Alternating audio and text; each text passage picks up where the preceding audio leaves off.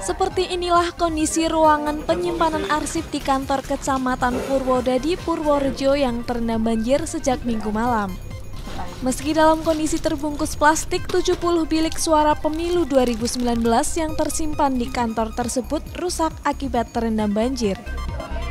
Dari total bilik suara 584 buah, PPK Purwodadi menyimpan 264 suara berbahan karton. Selain bilik suara, arsip dokumen dan sejumlah peralatan komputer pun ikut rusak akibat bencana tersebut.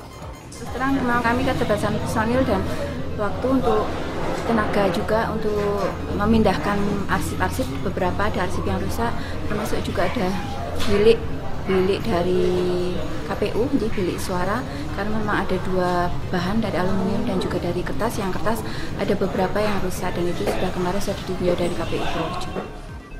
Petugas kecamatan melakukan pembersihan ruang yang terendam lumpur dan merawat arsip yang masih bisa diselamatkan.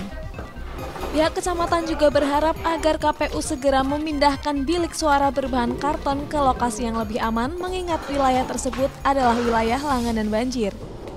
Widodo Setiawan melaporkan untuk NET.